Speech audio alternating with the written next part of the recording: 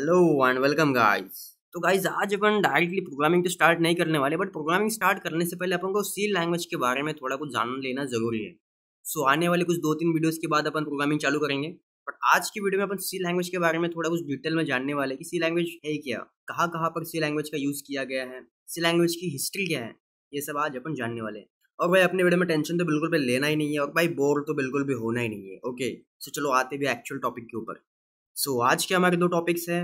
Why C language is so important और दूसरा history of C language so why C language is so important क्यों C language इतनी ज़रूरी है? आपकी favourite operating system Android Android की कोर लाइब्रेरीज सी लैंग्वेज में program की गई है। जो एक बहुत फ़ेमस सॉफ्टवेयर है ओरेकल उसे भी सी लैंग्वेज में ही बनाया गया है। माई एस नाम का जो एक सॉफ्टवेयर है उसे भी सी लैंग्वेज में प्रोग्राम किया गया है। सभी तरह के डिवाइस ड्राइवर्स सी लैंग्वेज में प्रोग्राम किए जाते हैं। अब ये डिवाइस ड्राइवर्स क्या है? सो so, अभी आप आपके सिस्टम में मानो कोई डिवाइस लगाते हो लाइक अ पेन ड्राइव अभी आपको पता है कि यार ये पेन ड्राइव है बट आपके सिस्टम को नहीं पता कि ये क्या है। सो डिवाइस ड्राइवर बेसिकली आपके सिस्टम को बताता है कि यार यह एक पेन ड्राइव है इसको इस तरह से यूज़ करनी चाहिए। यह एक स्टोरेज मीडियम है और एक बार जब आपका डिवाइस ड्राइवर इंस्टॉल हो जाता है आप अपने डिवाइस को बड़ी आराम से यूज़ कर पाते हो। जो अपने वेब ब्राउजर्स होते हैं, उसके भी मेजर पार्ट्स सी लैंग्वेज में प्रोग्राम किए जाते हैं। और यार यूनिक्स ऑपरेटिंग सिस्टम के बारे में तो आप सभी ने सुना होगा। यूनिक्स ऑपरेटिंग सिस्टम भी सी लैंग्वेज में प्रोग्राम की गई है। एक्चुअली सी लैंग्वेज को बनाया ही गया था यूनिक्स ऑपरेटिंग सिस्टम डेवलप करने के लिए। और लगभग सभी hardware dependent programming C language पर की जाती है।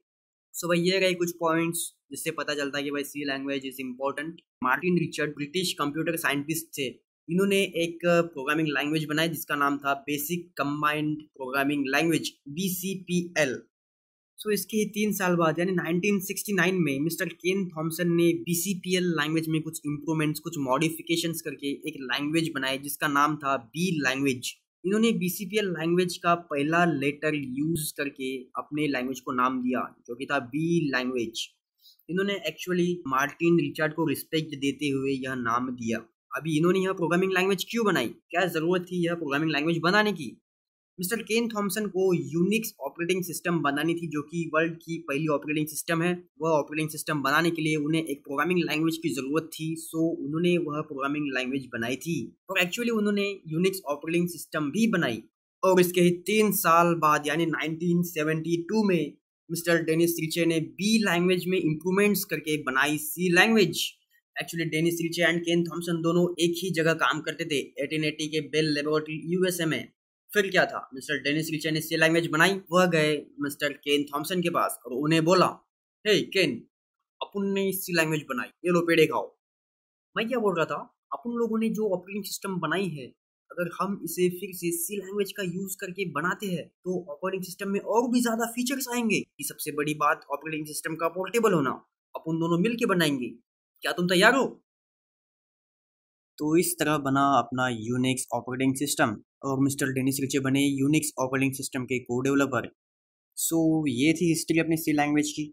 आज जो भी आपने सीखा, उसकी अगर आपको एक सॉफ्ट कॉपी चाहिए तो डिस्क्रिप्शन में लिंक दी है, जाके आप डाउनलोड कर सकते हो। और यार, अगर आप टेस्ट करना चाहते हो कि आपने कितना सीखा तो आप नीचे दिए गए लिंक पर क्लिक करके आज के वीडियो पर डिपेंडेंट एक क्विज भी सॉल्व कर सकते हो। क्विज सॉल्व करने के बाद आपको पता चलेगा कि आपने कितना प्रोग्रेस किया। तो जाइए और सॉल्व कीजिए। अगर आपको वीडियो अच्छा लगा हो तो लाइक ज़रूर कीजिएगा। अगले आने वाले वीडियोस के लिए चैनल को सब्सक्राइब ज़रूर कीजिएगा। अगर आपको सी लैंग्वेज से रिलेटेड किसी भी टॉपिक की इन्फॉर्मेशन चाहिए तो मुझे कमेंट करके बताएँ। अगले आने वाले वीडियोस में हम उन्हें ज़रूर कवर करेंगे। मिलते हैं नेक्स्ट वीडियो में। तब तक के लिए गुड बाय।